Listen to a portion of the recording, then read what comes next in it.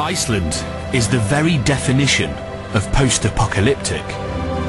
Sandstorms strip the paint off your car one second, and the next you can be buried in snow. They have a saying here, if you don't like the weather, then wait five minutes. Which they also say in Wales. But here, it just seems that little bit scarier.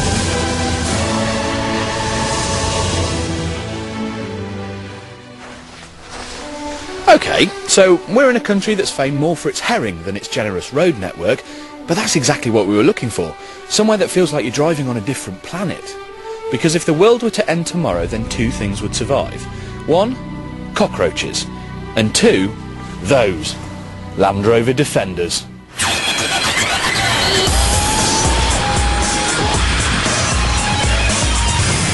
They're simple, rugged and pretty much indestructible. The family genes are strong.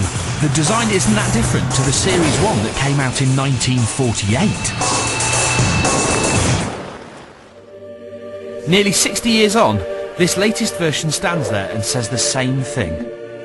Try and break me. And so we will. To help reach the parts other 4x4s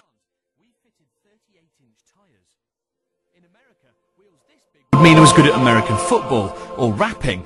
Here, I'm hoping they're a passport to a big piece of ice. Take me to the glacier.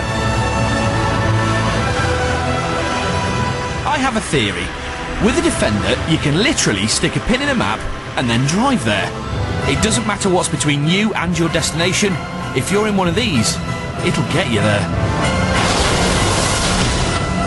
Now, the only way to work out that this is an 07 rather than an 87 is the fact that it's got a bit of a bonnet bulge to accommodate a new engine.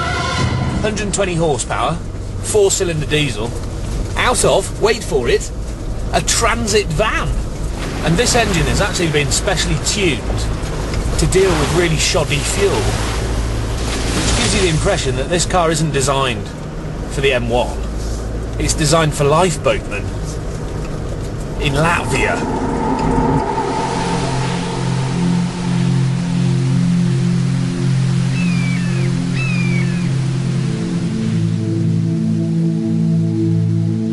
By far the biggest changes, however, are in here. We've got a completely new redesigned dash, nicking bits from the new Freelander like these dials here and, uh, and these heater vents over here. It's still a bit, uh, what's the word? Um, it's still a bit rustic, really. Mind you, we've got all the heater controls now centralised rather than spattered randomly across the cabin, and apparently this new heating system heats the car 40% quicker and gets it 12 degrees hotter, which means that we should survive a cold snap in England. Oh, and it's even got an MP3 player socket, which means that Land Rover has genuinely entered the 21st century. Ish. It does not 60 in about 16 seconds, which is slow.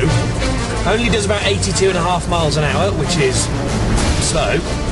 And it does about 28 miles to the gallon, which is alright. So you're never going to win a round of top trumps. But a Defender isn't designed to impress on paper. It impresses you where the pebbles are as big as dinosaur eggs, in the middle of an uncharted mountain. On Mount Doom, your only friend is a low-ratio gearbox. Oh, this is a big hill. I'm not sure I should be going down here.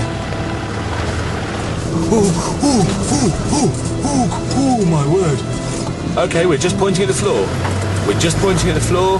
Oh my gosh, I'm hanging out the seatbelt.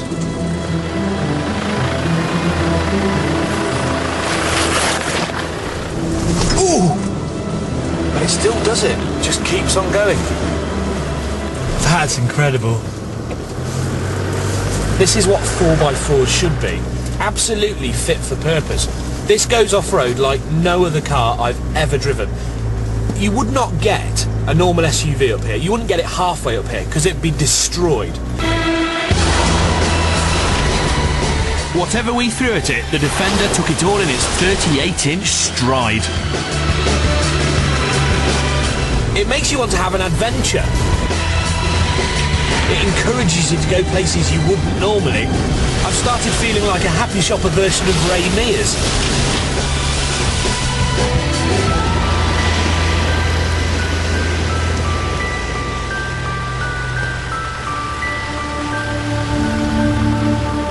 Oh my word, I think we've made it. Look, it's a glacier.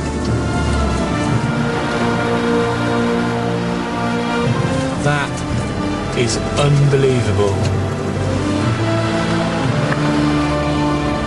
Prices start at around 19 grand for what Land Rover call their toughest vehicle. What that really means is that they put competence before comfort. The cabin's cramped, it's too noisy, and frankly, it's still uncomfortable. On the road, it would be rubbish. But where there are no roads, you wouldn't want to drive anything else.